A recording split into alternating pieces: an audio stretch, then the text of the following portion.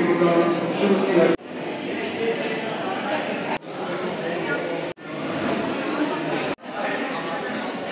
का और आपका जितने भी लोग यहाँ पर मौजूद हैं, वर्दी डिस्ट्रिक्ट सोशल वेलफेयर ऑफिसर जोड़ा, श्री तारिक काजी साहब से रिक्वेस्ट करना चाहूँगा, उनको मधु करना चाहूँगा कि वो वेलकम नोट के लिए प्लीज़ तशरीफ़ लाएँ और हमारी टीम जो जम्मू से यहाँ पे रिसोर्स पर्सन आई है, उनका भी मैं ऑफिशियल वेलकम करता हूँ। और खास तौर पर आप भद्रवा के नौजवानों का, बच्चों का, जो आज के इस मौजू पर यहाँ पर बात करने और सुनने के लिए आए हैं, मैं आपको बता देना चाहूँगा कि ये इंटरेक्टिव सेशन रहेगा। जब हमारी प्रॉपर ट्रेनिंग का यहाँ मॉड्यूल चलेगा, इसमें ऐसा नहीं है कि मोनोलॉग की तरह आप एक लेक्चर सुनेंगे। मेरी रिक्वेस्ट तारुफ करना चाहूँ। मेरा इसमें मुबारक जीनत जमाल है। मैं कार पब्लिक हायर सेकेंडरी स्कूल की तालिब इलम हूँ। आज मुझे जिस मौजू पर लफ्शाई करने का मौका मिला है, वो है नशा। सामीन, जैसे कि आप जानते हैं दौर हाजिर के अंदर, खास करके नौजवान और स्कूल में पढ़ने वाले तालिब इलम के अंदर नशे की बीमारी आम हो गई है। ये एक ऐसी बीमारी है जिसके साथ तबाह बर्बाद हो रही है।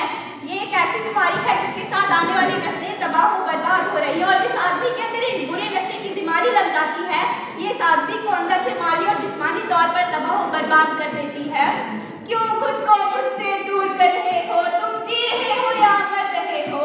ऐसा कौन सा गम तुम्हें जो रोज सजा पल भर का मज़ा ज़िंदगी भर की सजा नशा नमस्कार आदरणीय अतिथिगण एवं मेरे प्रिय दोस्तों मैं Shivali Raina Saraswati memorial high school से आज आपके समक्ष नशे के संदर्भ में अपनी विचारधारा प्रस्तुत करने जा रही हूँ। जैसा कि अभी मैंने कहा, पल भर का मज़ा, ज़िंदगी भर की सजा नशा। नशा एक ऐसी सजा है जो हम न सिर्फ़ अपने आप को देते हैं, बल्कि अपने घर परिवार, दोस्तों, रिश्तेदारों एवं अपने समाज को भी देते हैं। नशे की लत को सजा, इसीलिए कहा गया है, क्योंकि इससे हम न केवल अपने शारीरिक रूप से, बल्कि मानसिक रूप से भी अपने आप को बीमार कर लेते हैं। नशे से हम न्यूनता, यानी मेरा नाम रुद्राक्षी है। मैं Jammu and Kashmir society for promotion of youth and masses organisation से हूँ।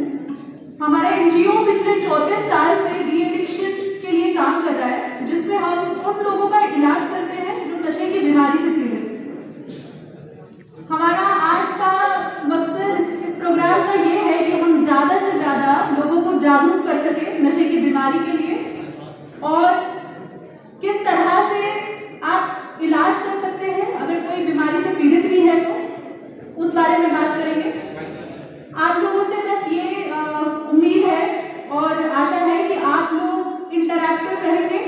जैसे कि अभी वो दो जो छोटी छोटी लड़कियाँ आई इतना जज्बे के साथ उन्होंने बोला बस वैसे ही जज्बा रखना है और इंटरैक्टिव रहना है इस तरह के अवेयरनेस प्रोग्राम ऑर्गेनाइज किए जा रहे हैं और बड़े अच्छे तरीके से, दिल से और मन से जो है प्रोग्राम ऑर्गेनाइज किए जा रहे हैं। जिसके लिए मैं इनको शुभकामनाएँ भी देता हूँ और एप्रिसिएशन देते हैं कि हमारे पास वो अल्फाज नहीं है।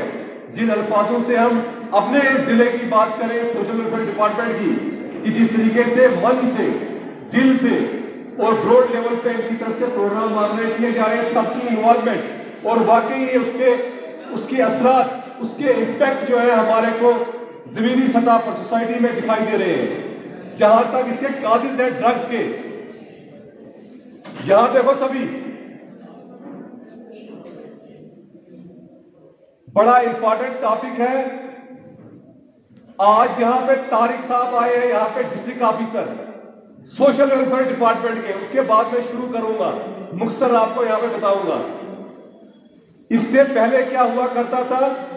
जम्मू कश्मीर की जो हमारी यूटी है, जिससे पहले प्रदेश था, हर एक पोस्ट पे भद्रवा के अफसर हुआ करते थे। कहा के?